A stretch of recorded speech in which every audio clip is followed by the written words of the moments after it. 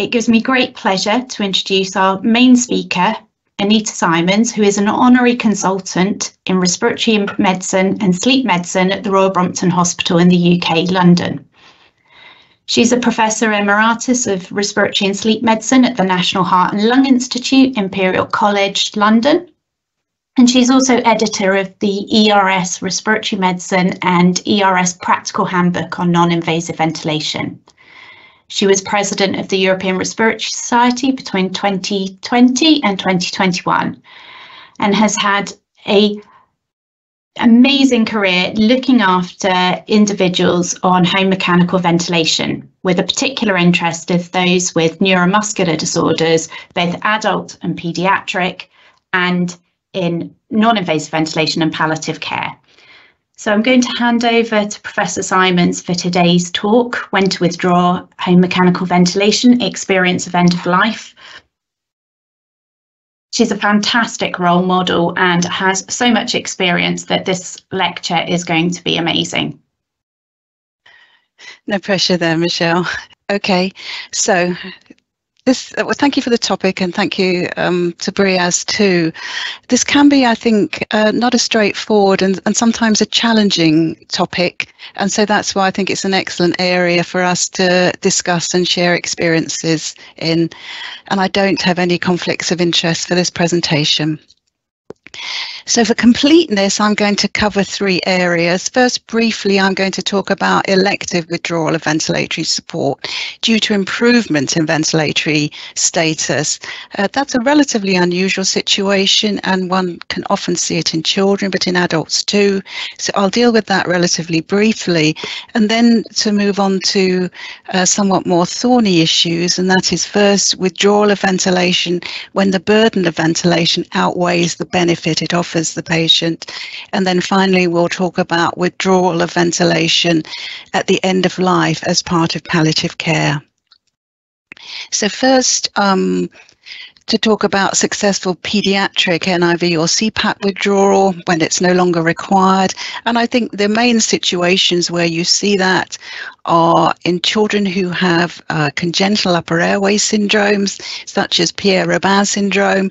And it's possible to withdraw ventilation because of airway growth. As a child becomes older, the airway develops and uh, they no longer require CPAP or ventilatory support. There is a similar situation you can see in individuals um, with upper airway syndromes or maybe straightforward obstructive sleep apnea who that situation is improved because they have upper airway surgery such as tonsillectomy and adenoidectomy.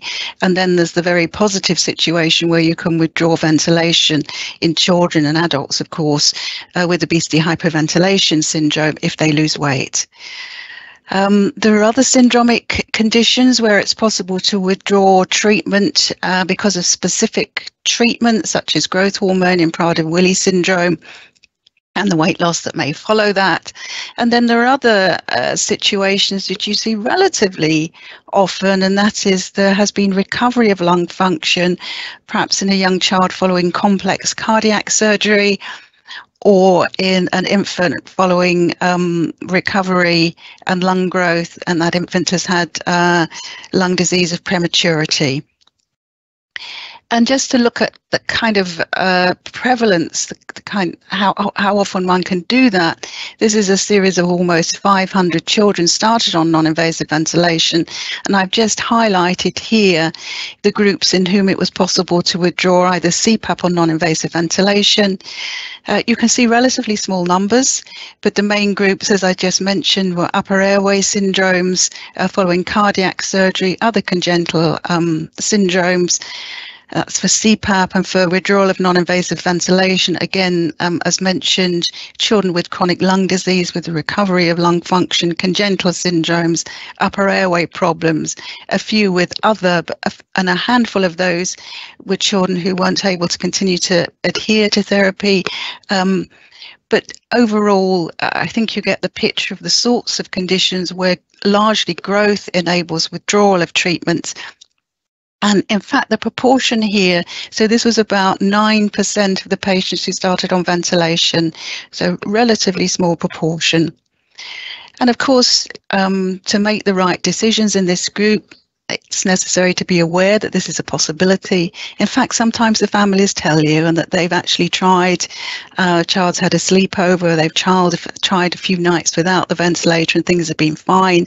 Of course, you can refer to your regular monitoring and then you need to assess for a period without the ventilatory support. If you're unsure of the situation, it might be, for example, that you do a split night study first. They're not perfect studies because there's not the same amount of REM sleep and so forth in each half of the night, but it gives you some idea. Or it might be possible to actually assess the child after withdrawal for uh, two or three or four nights, and that gives you a more clear idea of, of how long they can remain without ventilatory support. There's obvious relevance, of course, to adults, and I think the situations where we see it's possible to withdraw are following weight loss after bariatric surgery uh, and after uh, a prolonged recovery period after any other sort of major surgery. So that's the first sort of withdrawal.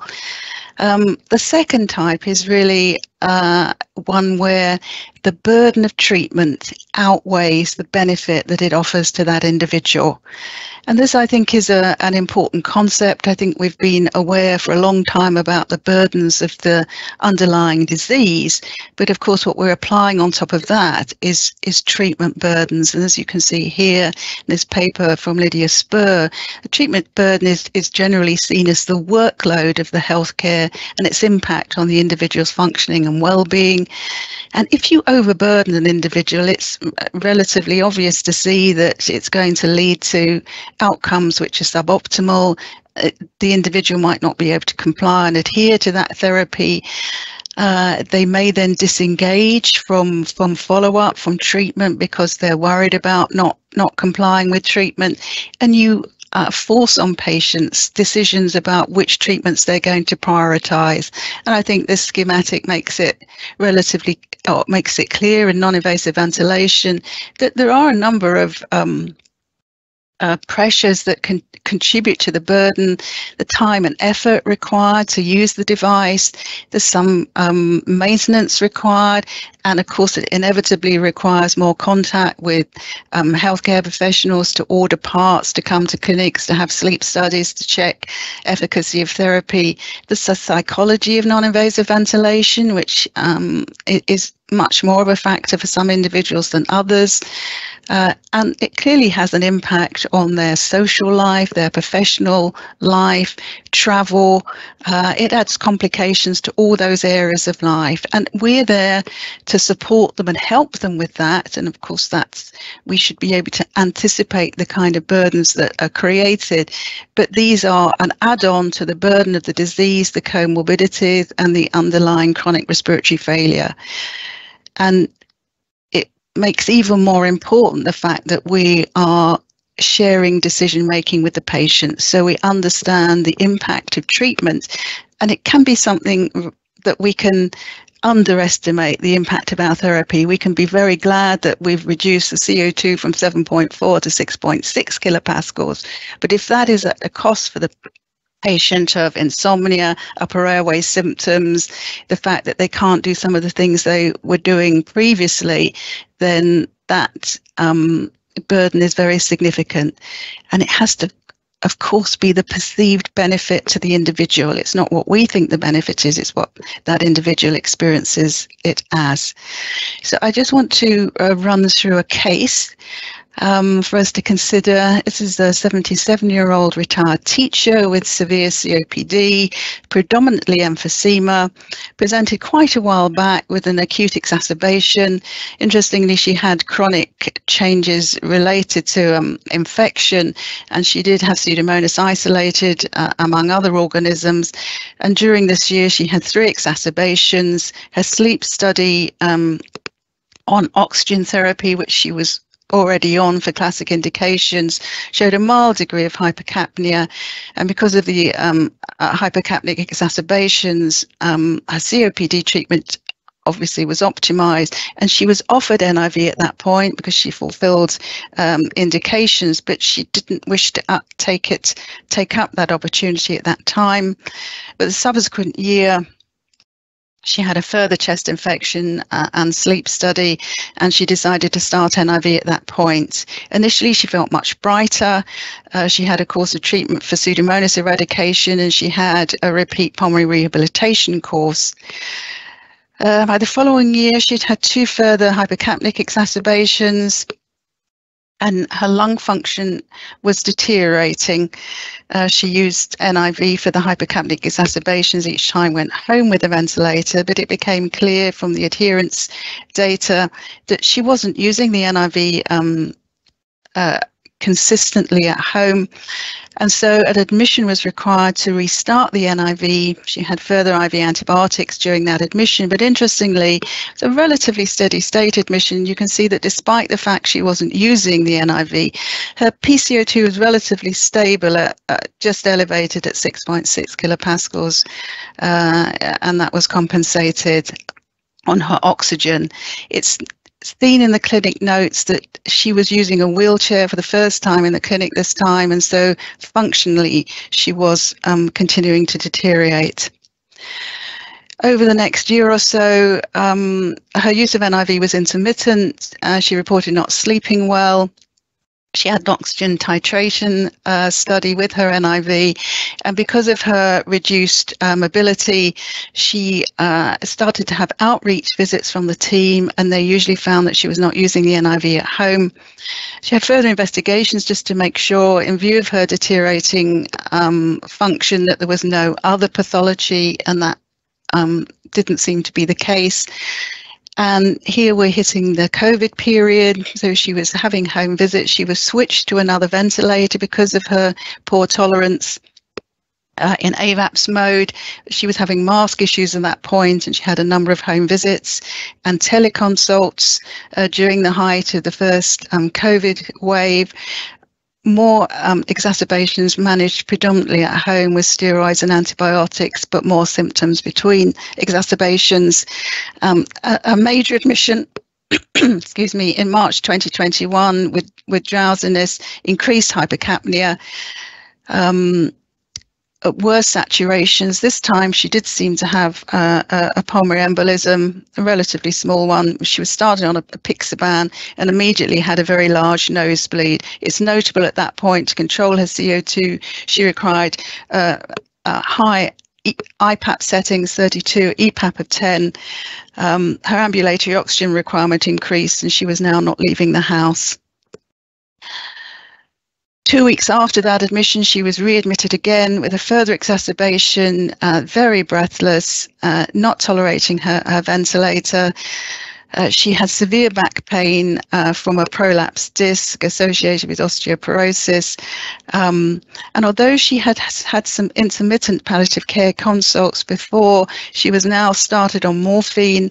She had a complex home care package arranged and was started on high flow nasal oxygen therapy at night and discharged home with the high flow nasal oxygen therapy, but also with her ventilator to use um, as she wished. And very sadly, and perhaps not unexpectedly, she died six days later at home.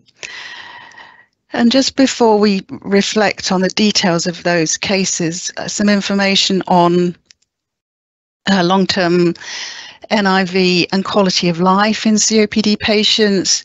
This is a paper looking at the SRI, the severe respiratory um, insufficiency measure of health related quality of life in patients with various pathologies, thoracic cage problems, uh, neuromuscular disorders, obesity, hyperventilation, and the black bars are the COPD patients. And you can see for the overall and individual um, aspects of the SRI, uh, other than the uh, the physical function, which is obviously going to be worse in the neuromuscular patients, you can see that overall the quality of life is consistently not as good in COPD as it is in those other pathologies. And if we review the randomized controlled trials, the original Mac- McEvoy trial didn't show a difference in S- uh, St. George's Respiratory Questionnaire at 12 months. Um, a patient outcome measure actually showed some aspects of quality of life were worse in um, COPD patients. These are the randomized trials, of course, of NIV uh, versus long-term oxygen therapy. The Köhnlein study, the steady state hypercapnia study, did show some improvements in the generic SF36 and the St George's Respiratory Questionnaire, uh, and so that formed the basis of the recommendations of the ATS ERS guideline for N- uh, NIV and COPD. Having said that, the Struik study, which was, if you remember, the um, post-discharge randomization to NIV or um, oxygen therapy alone showed only a trend in quality of life scores in the NIV group, and they were not significant. And the Murphy study, the hot HMV study, showed a trend in the general indices at six weeks an improvement in the St George's Respiratory Questionnaire at three months, but subsequently no difference in quality of life. And I think the takeaway from that is that um, clearly some patients do, and in fact, I would say many patients do experience uh, initial improvements in quality of life, and that may be maintained for some while. But it's really important for us to continue to assess the quality of life as the disease evolves. And most of these studies are only carried out for a year and yet we're continuing to see patients for one, two, three, four, five years. And we need to know and understand the balance between the improvements that the NIV has um, offered and the burden that it creates for patients. And so going back to that particular case, I think uh, uh, on reflection, those recurrent attempts to optimize, uh, in inverted commas, therapy tell their own story. And I think it's important that we should consider that maybe it's not the wrong mask or the wrong settings or even the wrong ventilator, but maybe we have the wrong patient to understand whether something is going to be effective for someone or whether the burden of therapy um, is an issue for them, you don't usually know till you try it. So I think a, t- a time-based trial is, is, is always worthwhile and worth discussing with the patient. Um, and as we saw, the, the, that patient initially felt better. She initially um, found her sleep quality was better uh, with NIV, but subsequently it did become more burdensome. And she told us that because she wasn't using it con- consistently really crucial is the fact that withdrawing NIV because its burden uh, exceeds benefit is not a failure. It definitely is not a failure. What it does, it it's not a failure for the patient and it's not a failure for you or the treatment. It, what it does is it allows you to refocus on what does work for the patient, what works on palliating their symptoms, and you can share with decision making as what is the right way forward for the patient at that point. So having covered that area, I now move to the, the last area, which is withdrawal of NIV at the end of life. And I, I think we're all aware that there are some important considerations here that medico legal issues can vary from country to country, and certainly cultural and religious views may play a significant part in the decision making in this area. And I'm really glad that Mike Kampelmacher is here at the end so we can discuss some of his experiences and how things are in the Netherlands. So, what are we talking about here? Well, this is NIV withdrawn in someone at the end of their life with terminal disease. And it is ethical for withdrawal at this point uh, if it's the patient's wish, their settled wish over time, and they have the capacity to make that decision. It's their decision. It is very definitely not assisted suicide or euthanasia, it's withdrawal of ventilation. It can be managed successfully um, in hospital. Of course, this is something we do quite often in other areas of care, um, in hospices and in the patient's home. For obvious reasons, most experience has been gained in patients with ALS, motor neurone disease, and the whole process, um, I think, is best done in a multidisciplinary way, jointly with um, respiratory teams, uh, home ventilation teams, um, palliative care teams, primary care may be involved, and the local team for patients where shared care is being carried out. The cause of death in this situation is the patient's underlying disease. It is not the withdrawal of the ventilatory support.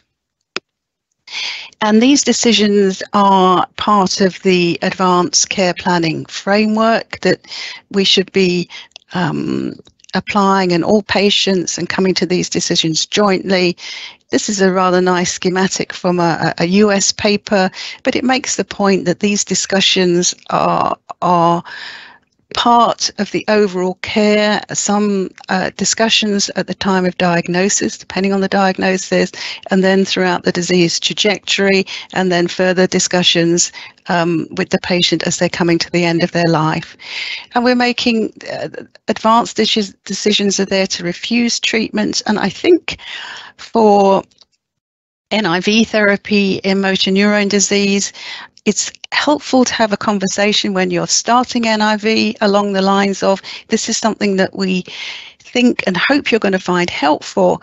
And what we hope is that you will continue to use it as long as you find it helpful.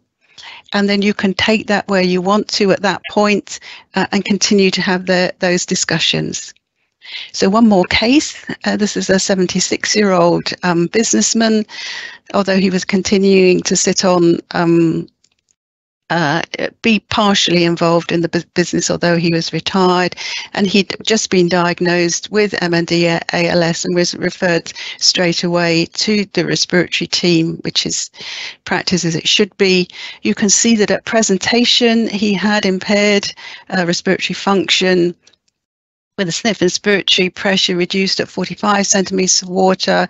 He was a non-smoker, not surprisingly, had normal PO2 at that time, but PCO2 at the upper limit of normal, a very classic presentation, compatible with quite significant respiratory muscle weakness.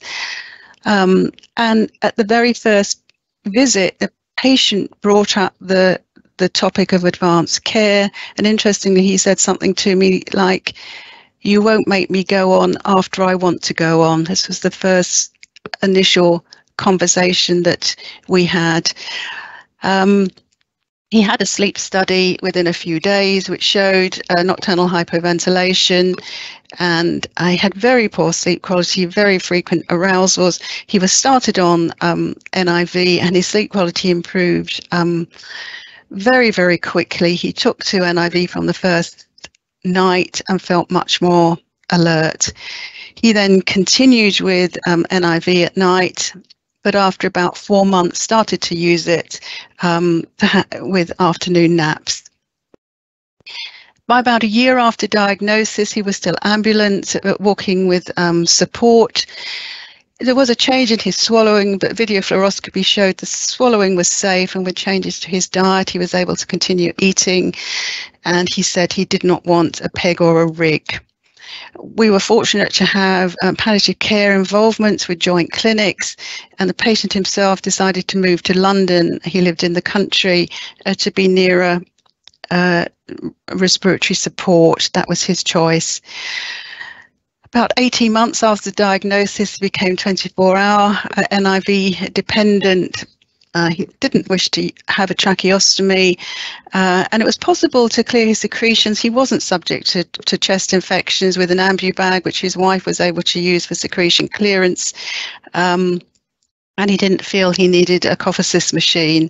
He was still able to have holidays in the countryside with his daughter. He had a full time carer. But as time um, was passing, so this was uh, a little, a month or two later, he was more uh, symptomatic. Um, he had poor tolerance for of, of, of, treatment for aches and pains and breathlessness, uh, and there was extensive discussion about um, uh, symptom relief uh, with our palliative care team and and with the GP, who was immensely helpful. Um, he again reiterated after discussion that he didn't wish to have a tracheostomy or further extension of life and um, uh, uh, decided that he wished to have the ventilator withdrawn at home. Um, he had full capacity to make that decision. So after discussion with his family, um, who were very supportive, plans were made for withdrawal at home. And within a, a week or two of that, after a small party at home with the family, uh, with champagne toasts. Um, he uh, retired to the bedroom, and GP was present as well as a palliative care nurse. Uh, a subcutaneous infusion of, of diamorphine and midazolam was started by a syringe driver. The NIV was withdrawn uh, three hours later, when there was no eyelash reflex, he was unarousable, and having withdrawn the ventilator, um, he died after a further three hours with his family present. So, what are our reflections from that case? Well, we know from the randomized trials that NIV can extend life, but the quality of that life can only be judged by um, the individual themselves. Um, palliative care input is, is really important and we can offer a palliative care. We can be advised by our, our palliative care team colleagues um, and we can relieve symptoms. The loss of autonomy is something that is really difficult to alleviate and is very important to some patients, more important to some individuals than others. As we've said before, withdrawal of NIV is permissible ethically. The patient can make the decision, they have the capacity to make the decision, and that's their considered view over time. And the family supports that view. And as I've said, in, in this um, particular case, the GP and the palliative care nurse are immensely valuable. The patient died of their motor neurone disease and the respiratory failure it caused, not from the withdrawal of the ventilator. So before we come to our uh, discussion and Q&A, I just want to run through some of the guidance that is available.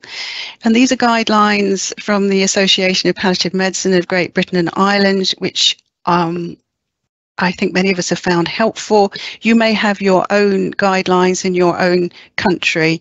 Uh, there is a web link included in the slides. So some principles of palliative care, um, removal of, of, ventilatory support. Um, it is a unique journey and it's going to be different. It's going to vary for each patient and their family.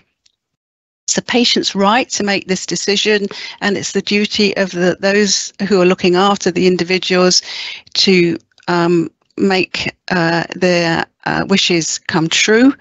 Um, the communication, as in everything in medicine, really, the communication is so, so important, especially understanding the medico legal aspects and what the plan is going to be. As we've said before, teamwork is vital. And the, the psychological support for the patient, the family, and the team involved is just as crucial as the practicalities. There are some generalizable principles, but the precise methodology and what you do on the day um, will vary according to the individual patient. And a really key point here: this is this is something that is is not done that often. It's probably done increasingly, but there is uh, a, a very sparse evidence base, and therefore there's need for discussion and for us to carry on evaluating the outcomes and what we do. These are the standards of care that were set for, for the Association for Palliative Medicine. Um, that the patient should be informed that this is a possibility for them and that they can be supported in this decision if this is what they want. I just said at, at this point that it is the minority of patients um, with motor neurone disease that, that choose this option. The vast majority continue with NIV or tracheostomy ventilation until they die um, but this is an important subgroup. A senior clinician, you note I haven't said what type of clinician should should validate the patient's decision and lead the withdrawal. So someone should be in charge, and it should take place within a reasonable time frame after the patient has made the request. Uh, so they shouldn't be left hanging around for six months until people get their act together. Um, of course, we should anticipate that if we withdraw the ventilation, then there uh, will be uh, associated symptoms, and those symptoms should be um, preemptively managed, and that all the family members should have the appropriate support uh, wherever this is done um, in, in a hospital, in a hospice, or at home as we've said right from the beginning, this, this can be a challenging area for lots of reasons. Firstly, that because it's done um, infrequently, then most um, healthcare professionals are not going to have a lot of experience. They may only be doing occasional cases. Um, there's considerable variation in practice. It doesn't, probably because there's no one right way of doing things. Um, but we really want to make sure that we have the best outcome possible uh, never a truer word was said. The emotional stakes are very high, and there can be misunderstandings from family members, from other healthcare professionals involved in your own team or other related teams as to what is uh, the correct way to do things medico legally. And um, really, one needs a framework to do things properly. What are your responsibilities as a as a um, health professional? Well, you don't have to participate in this if it um, is not uh, in alignment with your own religious or moral or other personal beliefs, so you don't have to participate. But importantly, if you decide not to do that, you should make sure that there are other clinicians, other team members that can um, fulfill the patient's request. So it's not acceptable to leave the patient without anywhere to turn to, as, as the GMC says here. That's the General Medical Council. What are the practicalities? Well, it's good, good to get these right first. Um, I, I think as as most people would do, multidisciplinary team meetings are there to ensure that everyone is on board, um, that all the patient knows what's going to happen. All the family members are in are in, in agreement, and I mean all the family members. Um, that everyone understands the ethical legal basis of what is going to happen and are familiar with the plan. Then in terms of uh, the uh, sedation that is required, then usually at home, I think one would tend to use subcutaneous um, uh, delivery of medication, and this is the suggestion from the palliative care guidelines. Uh, you may wish to start with a syringe driver and infusion and then add aliquots as suggested here, or add, uh, start with a stat dose. Um, often in hospital, IV delivery is, is preferred, and this is the suggestions here from the guideline. Uh, especially at home, if you're delivering the treatment subcutaneously, I think you may want to consider having several sites for, for butterflies to make sure that one doesn't tissue. And if you're using IV delivery at home, then you, you, you should have to have someone around who can replace the IV if it tissues um, subsequently in the procedure. So uh, just think through what, what can happen and what might go wrong. Now, with the having started the sedation, uh, some teams uh, elect to tail down the ventilator setting, so reduce the IPAP and the backup rate. Uh, other teams don't do that. Um, but the removal of the mask is usually done when the patient is unrousable, and I find it very helpful to know that there's no eyelash reflex whatsoever. Make sure the ventilator alarms, humidifier alarms are disabled because the last thing you want when you're gently removing the mask is suddenly mayhem to, to start with the alarms going off. That's not a control way of doing things. It is possible to add oxygen if the patient has been on it previously at home, so just gently replace the mask with nasal cannulae, but most um, ALS, motor neuron disease patients are not on oxygen. Often oxygen is, is not there at home, and I, I certainly don't think it's um, essential. Personally, I've occasionally used it in, in hospital in this situation. If a patient becomes very cyanosed and the family are worrying about that, I don't think it's an issue for the patient, but it's certainly not essential. And um, one thing to bear in mind is that the time it then takes for the patient to die can be quite variable and I would say it might take longer than you expect and I'll just show you some information on that. The family's participation is entirely up to them. Uh, they may wish to be present the whole time, they may wish to come and go, it may take a while, the whole process. Whatever they choose to do, I've seen um, in children in particular where this has been managed in hospital that on two occasions when the mother wished to remove the mask personally, um, and then the, the, the, child was on their lap. Um, so it's whatever whatever is right for them. This is a very helpful paper from Ben Messer and Alison Armstrong from Newcastle showing a case series of six patients where they withdrew support in ALS patients. And they uh, indicate here the time from the request of the patient to the withdrawal. So it was done um, in, in a timely way. Uh, they uh, tail down the settings and you can see generally half the IPAP, sort of 22 to 10, 26 to 12, and they tail down the backup rate 12 to 8. You can see here 15 to 8. Um, no other settings changed in particular. And you can see they time. So each patient is is their own control in a way. It's going to take a different time for each individual depending on their ventilatory capacity. Uh, and even if they seem totally ventilator dependent, it's surprising that you can see the time, very um, variable times um, of the whole withdrawal process. And then this is amount the amount of time from withdrawing the mask itself, so stopping the ventilator till death. So within moments, to 32 hours. This was uh, kind of planned over that period of time, but you can see very variable indeed. Um, and this is a case from from the from the guideline. We have some patients on tracheostomy ventilation at home. This was a patient who had had an emergency tracheostomy for her uh, motor neurone disease, and she'd had uh, after two years. Um, she was consistent in her request uh, that her quality of life was no longer what she wished it to be and that um, the burdens of ventilation outweighed any benefit.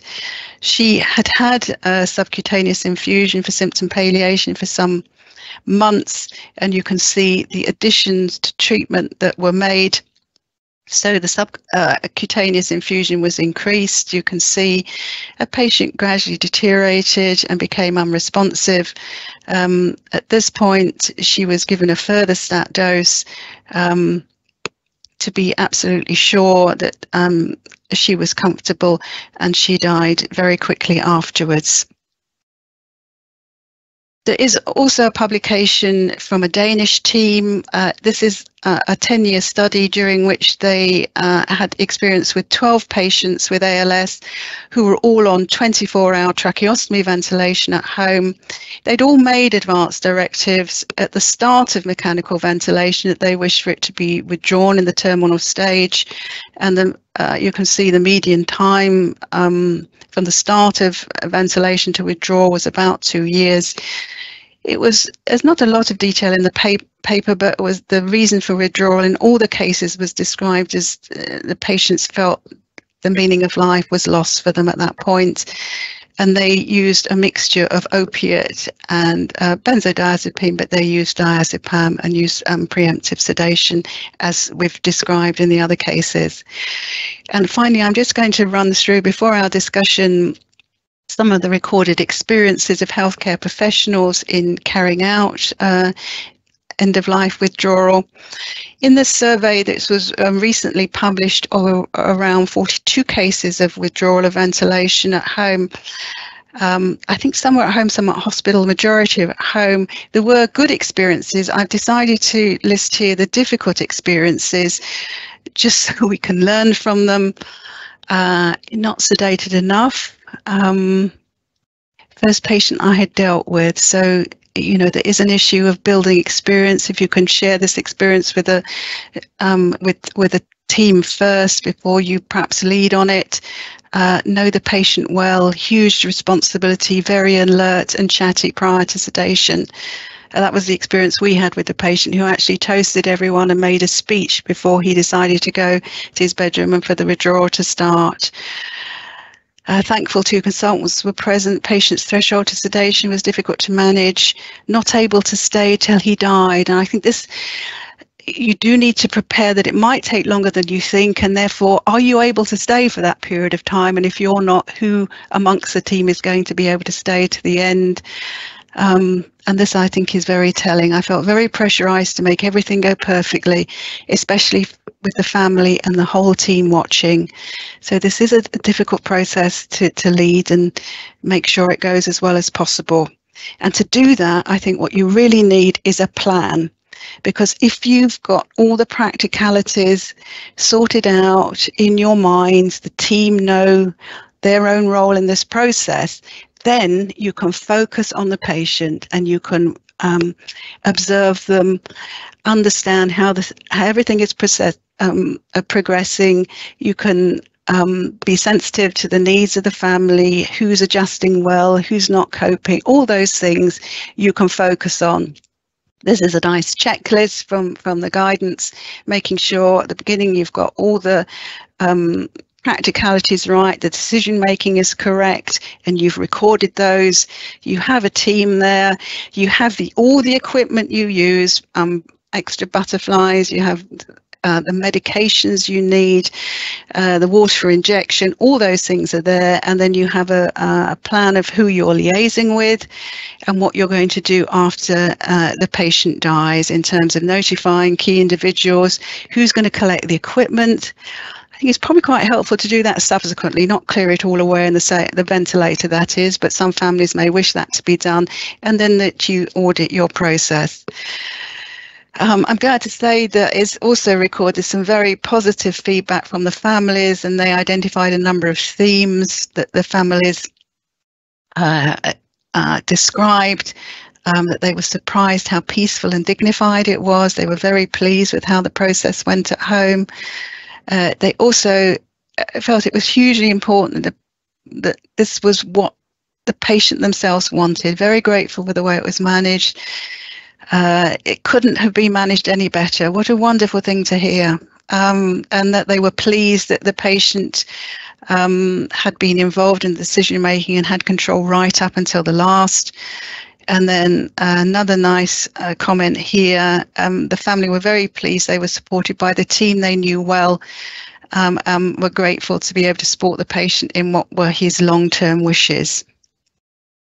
So, with that, um, I think if, there is an afterwards.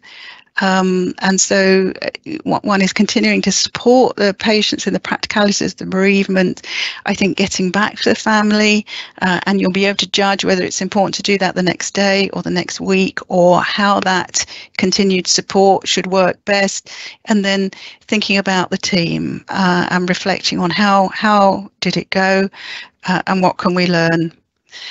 I'm ending with some comments on what might be a good death, um, and for you to decide. I'm not going to read them out. Whether a withdrawal is consistent with doing all these things. The patient knows when the death is coming. They have dignity and privacy. There's control over their pain relief. Um, they can control who's present there. And here at the bottom, they're able to leave when it's time time for them to go and not have their life prolonged pointlessly. Far be from me to add anything to something Socrates has said, but you, you could, I suppose, say that a good death and maybe even a good life and a good death may be the greatest of all human blessings. And then, as Cicely Saunders said, how we do this is important because um, how people die really affects the memories of those who are there, their families and their friends, and those who continue. And so I'm just going to remind you now, before we go on to the Q&A, of what the session is next time. Is transitioning a child to home with a ventilator. But I'm going to hand back to Michelle and Mike for our um, Q&A. Thank you very much. Thank you, Anita. That was an excellent presentation, as always, and answers lots of questions along with some real practical tips that will help everyone. Um, I'd like to introduce Mike Kampelmacher, who is a consultant physician with over 30 years experience of home mechanical ventilation, firstly in the University of Utrecht, but now heads the home mechanical ventilation team in Antwerp. So thank you, Mike, for joining us while I'm waiting for a couple of extra questions to be posted, but we do already have some, um, I wanted to ask one of my questions to start with, which is what happens? We quite often see families and patients are not on the same page, that some of the family will be and some of them won't. And I think that that can cause a lot of issues in the clinical setting when a patient says, Look, I would like my ventilator withdrawn, but you have family members that are very much against that. And I just wondered um, if I could have your views on that. Well, uh, uh as you implied, that that is a situation. Everyone has to be uh, on board. Um, and I, I, don't think it's different in some ways to other conversations you have about other uh, advanced directives about whether a patient is going to be intubated and go to ITU, um, uh, resuscitation decisions. I think uh, they can be dealt. I mean, it's the family dynamic, and you may wish to have a group discussion, or you may, if it's one individual, say uh, a daughter or a son, you may want to have an individual conversation with them. Um, it's really understanding that. I mean, they may wish their mum to continue to be alive because that matters to them, but it's really what their mum wants, and it may take some more time for them to come to understand that. But you can't really push people, um, but you have to help them understand in whose best interest is this. Mike, do you have any tips? Because you've also had a lot of experience in this area too. Um, it doesn't happen frequently, but if it occurs, it takes a lot of time and energy to uh, try to get everyone on board uh, because that's I think the challenge uh, to explain uh, what's in the best interest of uh, of the patient. And usually uh, we succeed in in in, in convincing everyone that it's best to do so but nevertheless, uh, uh, it, it, it, it may uh, give rise to a lot of questions from the family, and it may also uh, uh, cause a lot of uh, delay, which is which may not be in the interest of the patient. So that's the, most difficult part of it. That you need time, but on the, on the other hand, time may be crucial for the patient. So you have to find a, way in between. Thank you. We have a question from the audience asking about timing in that should we be, we obviously don't want to be too sort of morbid about this thing, but dying is part of the natural life cycle. And they ask whether we should ask the patients what they want maybe more often or a little bit sooner, as per the Danish study that asked about the advanced care directives. So I think what they're getting at is should we say at clinics, how are you getting on with with your treatment? Is this something you want to continue? But it, it's getting that right balance between not not sort of saying we can take it away from you, but actually not not addressing the elephant in the room, if that makes sense. Yes, I, I I know what you mean, Michelle, and often it's very easy in the clinic to focus on practicalities and different masks and different tubing and uh, a whole host of other other simple issues. Um, I think open questions. So, um, how do you see things going? How do you see things going over the next few months? How do you see things in six months' time? Um, this treatment is here to support you and to support your quality of life. Uh, it's up to you, though. It's your decision. Um, and so I think that round the ventilator is it's it's here for you for as long as it helps you. It's quite a useful phrase because people will then say, "What do you mean by that?" And then you can say, if you wish, it is possible for this to be withdrawn. Uh, this is perfectly legal and perfectly ethical. On the other hand, other people choose to continue it and choose to continue it until the end. Um, so this is your choice. And I think as you as you get a response from the patient, you can take it further as necessary. I think you have to be relatively explicit. Otherwise, um, I think most of the evidence suggests that the patient is ahead of you. If you see that you're raising surprise, you know, uh, uh, that this is something that is not something for them that day, then then you can then you can back away. But it's more often that the patient is thinking about it and not knowing how to raise it with you rather than the other way round. Mike? Yeah, that's an interesting topic. Um, um, besides explaining the uh, advantages and drawbacks of, of uh, home ventilation, uh, we try to uh, ask from the first visit, uh, if possible, about the expectations and wishes uh, patients may have. And particularly in patients with motor neuron disease, um, I found it very rewarding to bring up the issue of the end of life. Uh, coming from the Netherlands, I work now in Belgium, and as you may know, in Netherlands we are uh, considered somewhat straightforward.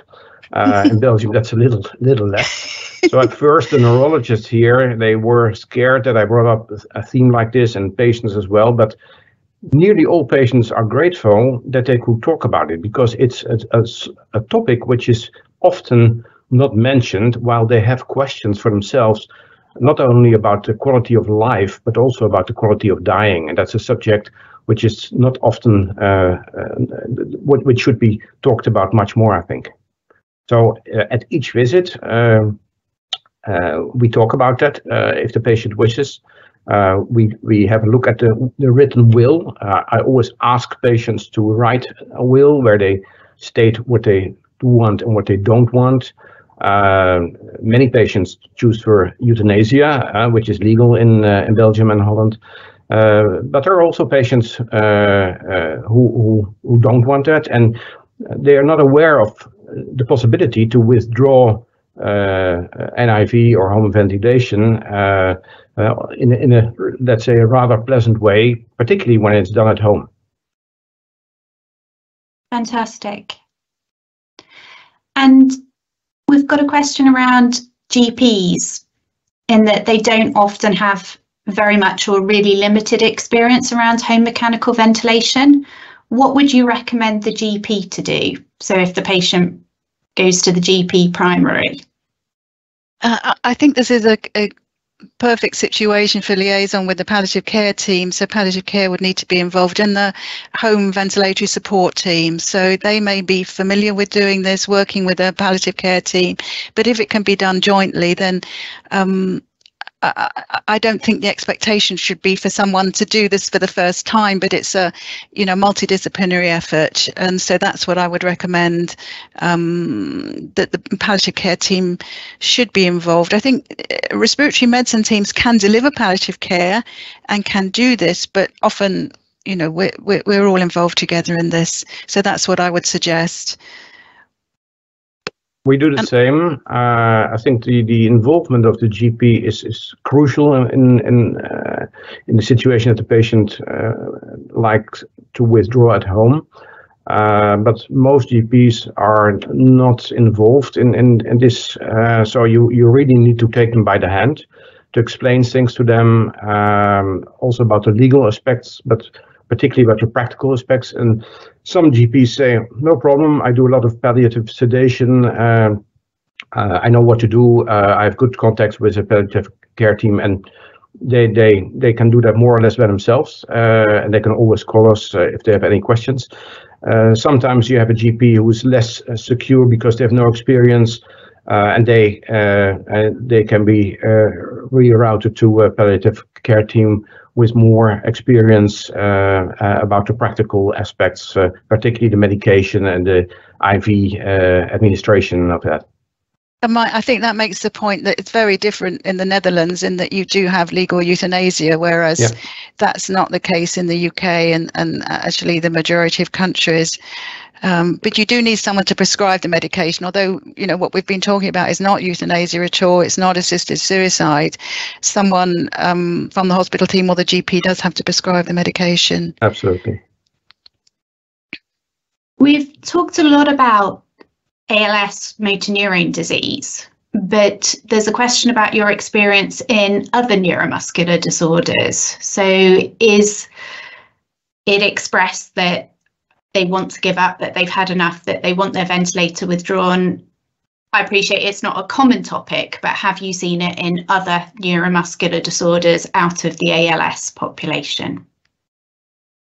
Mike, I know I know that's been the case in, in Belgium, hasn't it, with with Duchenne patients? I've never seen that in the in the UK. We've never done a, okay. a withdrawal in the UK.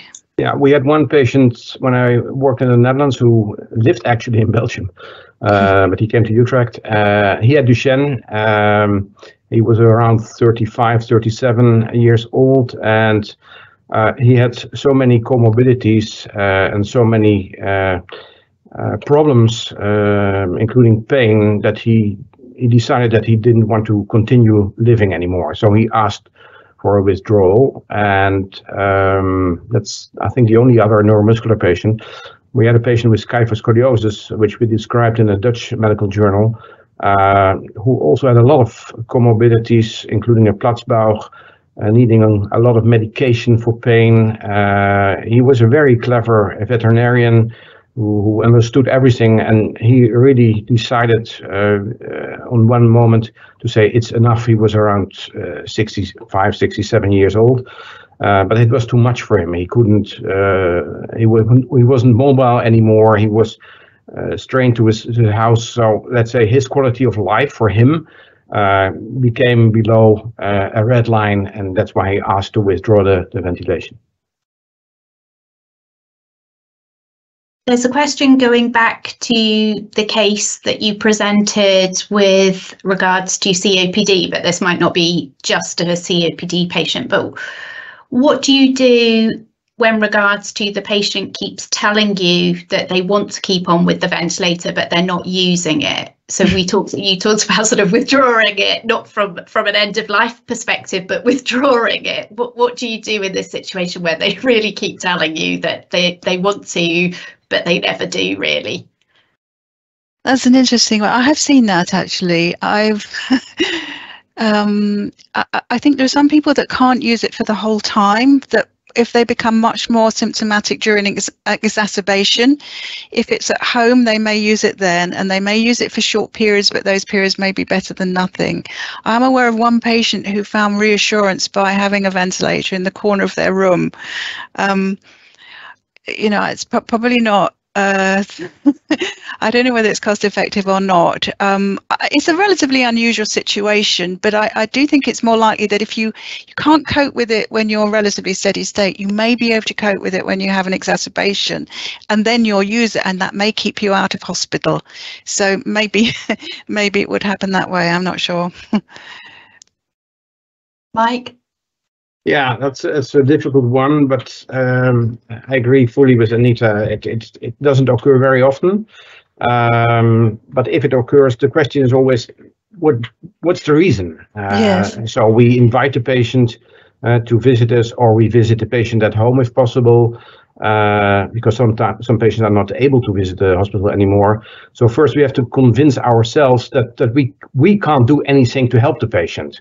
And even then, and the question is, does the patient want to continue uh, or to, to keep the, the device or not? And usually we agree in doing that uh, because it gives a feeling of safety. And uh, as Anita said, it's not cost effective, uh, but uh, sometimes you have to be, let's say, more kind than you than you need to be. So uh, I think that's that's it's important that you reassure the patient and that that you have a look together what can be done uh, to, to improve the situation, as long as the patient wants that. I'd like to thank you both for your time and an excellent discussion. I totally agree with you, Anita, uh, with regards to the quote. It's about um, how the memories of how people, the memories that are left with the people that live on, and, and that really is important. So thank you again.